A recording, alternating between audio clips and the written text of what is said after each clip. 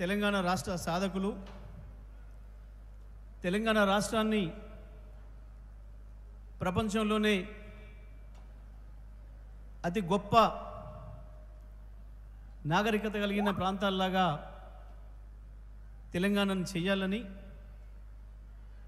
తెలంగాణ జాతిని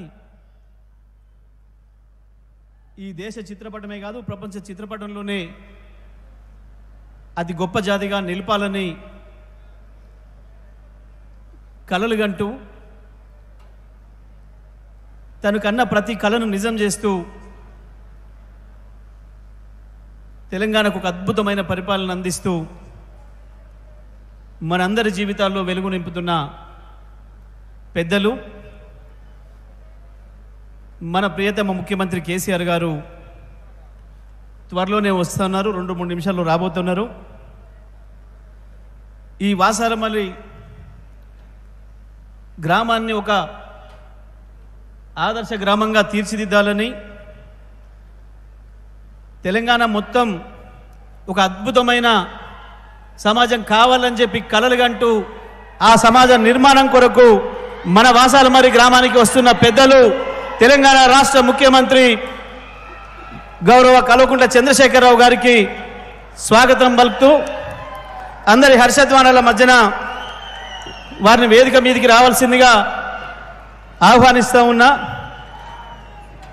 ఈ తెలంగాణ ఎట్లా ఉండాలనో రెండు వేల సంవత్సరానికి ముందే కలగని తెలంగాణ రాష్ట్రం సాధిస్తే తప్ప ఈ రాష్ట్రంలో ఉన్న సమస్యలు తీరవని ఎవరికి విజ్ఞప్తి చేసినా ఎన్ని దరఖాస్తులు పెట్టినా ఎవడి తల ఎవడి కడుపులో తలబెట్టినా ఎవడి కాళ్ళు మొక్కినా ఈ రాష్ట్రం బాగుపడదు.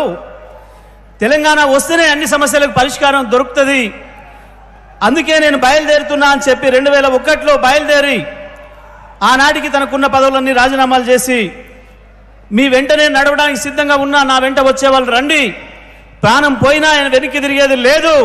ఎట్టి పరిస్థితుల్లో తెలంగాణ రాష్ట్రాన్ని సాధించుకుందాం. ఇప్పుడు కాకపోతే మరెప్పుడు రాదు. తెలంగాణ సాధించుకున్న తర్వాత ఈ సమస్యలన్నిటికీ పరిష్కారం ఎట్లా ఉండాలో నేను చూపిస్తా అని చెప్పి ముందుకొచ్చి మనందరిని వెన్ను తడిపి బ్రహ్మాండంగా ఉద్యమాన్ని నడిపి రాష్ట్రాన్ని సాధించి తెచ్చిన రాష్ట్రం ఎట్లా ఉండాలనో ఈ దేశంలో కాదు ప్రపంచంలోనే అతి అద్భుతమైన సమాజ నిర్మాణం కావాలి.